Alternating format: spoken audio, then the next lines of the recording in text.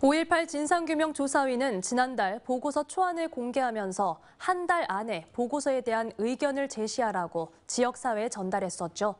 마감 시한은 점점 다가오고 있는데요.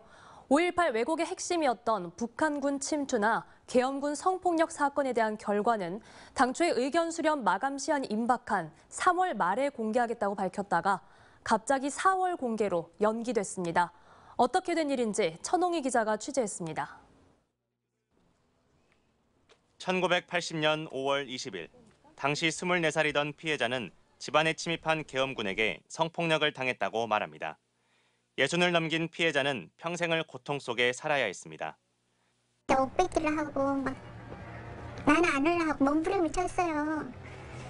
그래갖고 막 당금을 대면서 내 등을 조사버렸어요 그때. 조사갖고 막 같은 거 들고 계엄군에게 성폭력을 당했다는 피해자들이 잇따라 나오면서 5.18 진상규명조사위원회는 계엄군이 자행한 성폭력 사건의 실체와 규모가 어느 정도였는지 직권 조사에 나섰습니다. 하지만 다른 안건과 달리 아직 결과 보고서조차 공개되지 않고 있습니다. 북한 특수군이 광주에 침투했다는 극우 세력의 주장을 조사한 결과 역시도 아직 공개되지 않았습니다. 진조위 측은 보고서를 좀 더 명확하게 작성하라는 전원위원회의 요구가 있었고 성폭력 사건 같은 경우 민감한 내용에 대해서 피해자들의 동의를 받고 내용을 쓰고 있어 시간이 지체되고 있다고 해명했습니다.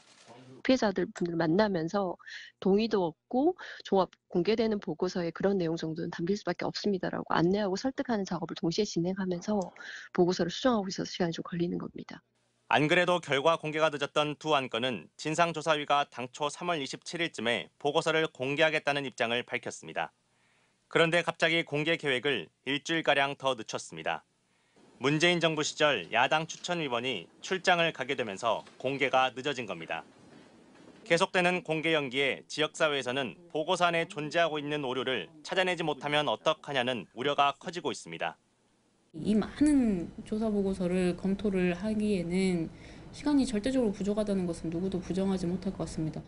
시민들에게 4년간의 성과를 보고하는 결과 보고서 공개를 주먹구구식으로 운영하면서 비판의 목소리가 커지고 있습니다. MBC 뉴스 천홍입니다. 언제 어디서나 내 손 안의 뉴스. 광주 MBC 뉴스 유튜브 구독으로 함께하세요.